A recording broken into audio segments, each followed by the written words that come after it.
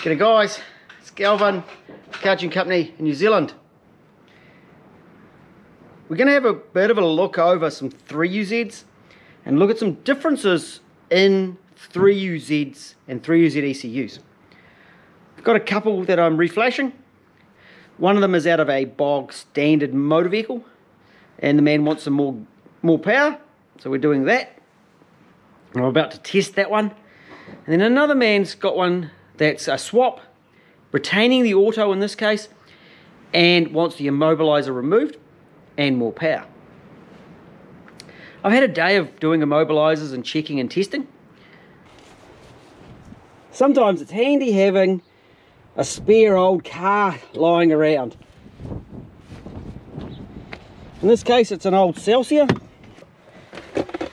and tucked in there we've got an ECU that's just had the immobilizer removed and it's actually had a rebuild. While I was in there I also found this suspension height controller. If anyone's looking for a height controller for a Celsior, it's actually just a, a plug and play unit. Plugs into the height control ECU. Look at that. Well, we've got that ECU plugged in. The factory ECU is still tucked in the factory spot. And this one's out of a different vehicle. Okay, so for it to start, the immobilizer needs to be removed. And we go with the key. You'll see there's no security flashing in this case.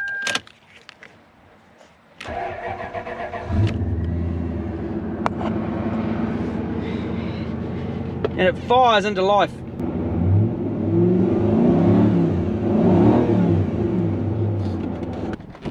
I am starting to see more of these VVTi ECUs fail. So this one was rebuilt before it had totally crapped out and given any issues. And it was actually a relatively simple repair to know that we're going to have a reliable ECU moving forward. So if you've got the 98 to 2000 LS400s or Celsiors, I would really consider getting those ECUs rebuilt. I also flashed up this ECU in my Hilux. This one is uh, getting put into a Prado. So immobilizer's gone and EGR's been turned off.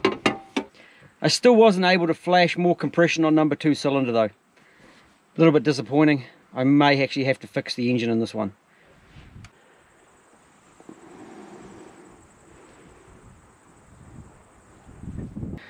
And Poppy's assistance has been um, digging holes and barking a lot whilst digging the holes.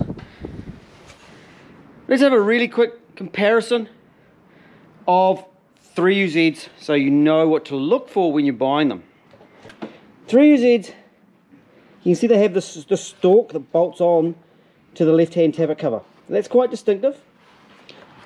Smaller, flatter coils, similar to the later model 1UZ VVTi and the loom coming out the front left of the engine as well. In around 2003 they changed from this throttle body with the small two pin plug to the larger six pin plug.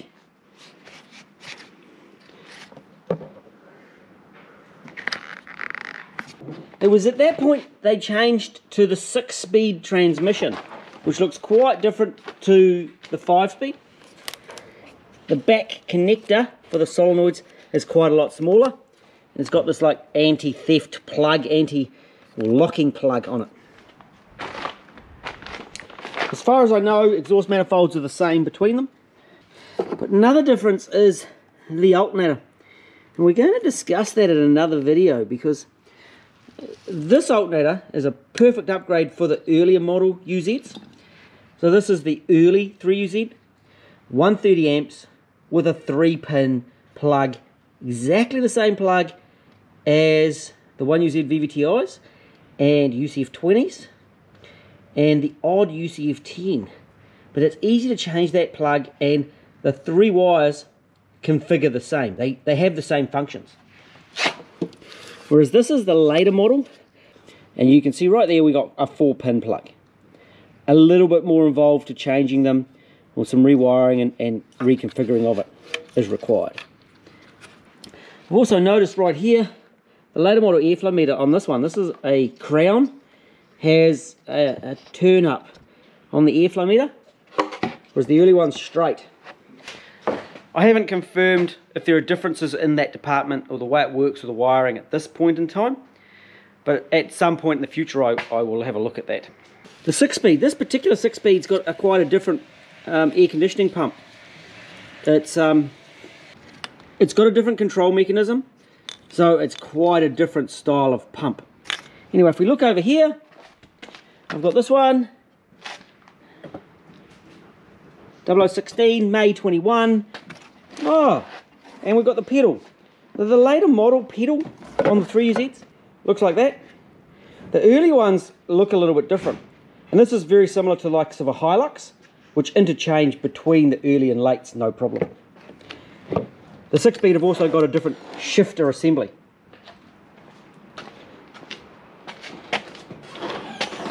Looking at this one, we know this is a late because it's got two screws. We'll come back to that in a moment. Let's power it up, give it some fuel. Bucket of noise is working. Turn the ignition on. It's got a check light and we fire it into life. Run, run.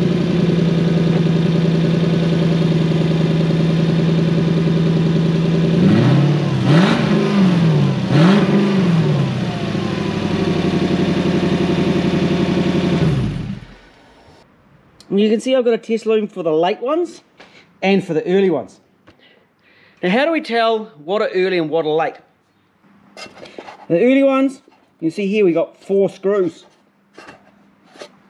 This is late. They haven't drilled out the two extra screws. Then we've got the GS with these wings on it and they've changed the body design as well. For me, the easiest way is to grab the part number and to pop it into Toyo DIY. So that's an 89666. A little bit unusual having the 666, but 30300. Here we are guys in Toyo DIY. Little hint, um, get a login, find someone with a account get an invite, you'll get pictures. Okay. Um, so I'm going to just click here, here, here. So that's all the all the possible markets. I'm just going to go with all them. We were 89666 dash 30300. We do a search. We see here Japanese. There's the year range 05 to 11. It's in the GS so 460, 430, 350 it, the ECU is not going to fit all those models. So let's just let's click on that, expand it out. And there's what comes up. So it's actually fitted. It'll be a GS 430 UZS 190, and there's the model 3UZ from Japan from 05 to 07. Tells us exactly what that ECU is from. And then we've got a picture to the a, a link to the picture to the diagram there it is. Bit of information. Really helpful. This one, 89661 50800. It's late. Right, this time we've got um, 89661. That's your common Toyota ECU number. We had 50. A little hint. That 50 is uh, the model designation of the part number. So 50 is Celsior or LS400. That's how I kind of know what some of these are. Uh, 800. We search for it. And it's coming up as a Celsior. So that's going to be from the Japanese market. So we go Japan, 2000 to 06. But if you look further down, we pop down here, we see it's 03 to 06. So it's the later model version. So that's going to have the two screws, not the four screws, out of a UCF 30. So it's really helpful for finding these part numbers and getting the right model. I can also use it to backtrack through if I'm wanting to find, say, a throttle body, I can backtrack and find that, a knock sensor, by knowing the ECU number. So it's really helpful when I'm doing the work that I kind of do. And the real common early one 89661 50590. That's a real common JDM Celsior ECU. Righto, let's uh, see what this one is. Uh, so we've got 89661 dash 50 Celsior LS400 590. We search it. We see here again it's brought up an 0, oh, 2000 to 2006 Celsior. We click on it, we expand that down, and that's something that a lot of people miss. We see it's an early one, 2000 to 2003. So the sixth month of 2003, there's the model numbers, Celsior. So we know where it comes from. Again, greatly helpful to have Toyo DIY. Everyone who's working with Toyotas should have it, and they should have diagrams. Right, let's let's go through the process really quickly. The man included a note. The biggest reason I have these ECUs arrive is to remove immobilizers. To get rid of that immobilizer so it can be used in a swap. If running a manual, then we can delete the transmission and still have the engine work as it should without the need for extra boxes. For some vehicles, we can put in the firmware that allows it to communicate with the dash correctly.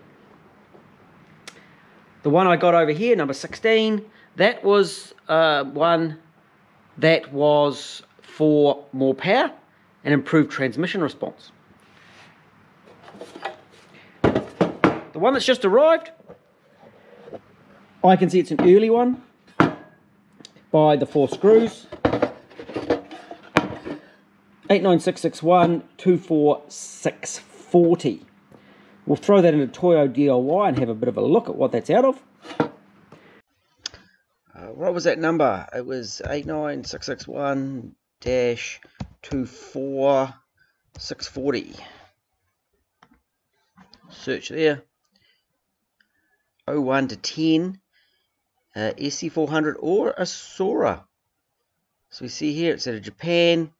It's actually an, an 01 to 05. Okay, so now I did say there was a change in 03. That is like a guideline that we use, and this is this proof that Toyota sort of broke the rules. Uh, so it was 01 to 05 in this one, and it still had the five-speed floor change transmission. So this was a five-speed ECU that ran right up to 2005. This is the fun that we have with Toyotas, but by using this program, we find it we learn, we understand what model it came from. Really, really helpful. And he's told me that it's going to be in an IS300. Quickly looking through emails, it's going to be an auto. So I know what I need to do.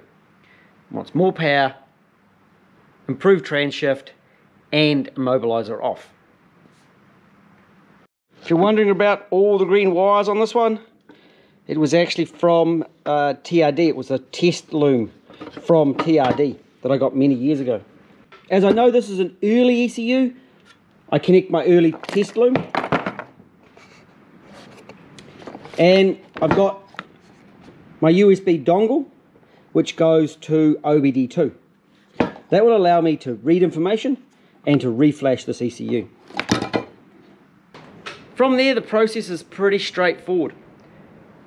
On this one, we'll suck some information out of it, slam some new information into it, test it, check it, put it in a box and send it home. This is one reason why I love the 3UZ, because it gives you greater flexibility.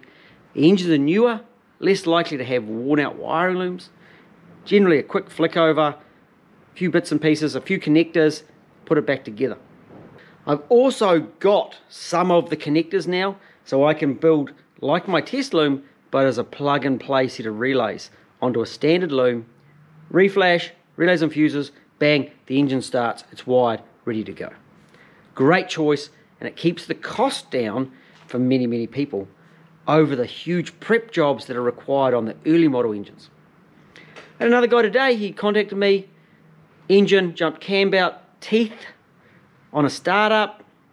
It's a used engine. I asked him about prepping and what he'd done to it. He hadn't done anything. So he's just changed his engine, put it back in the hole, and look at the rubbing on the cams. The thing's been starved of oil. And we're not seeing these sorts of problems on the later ones.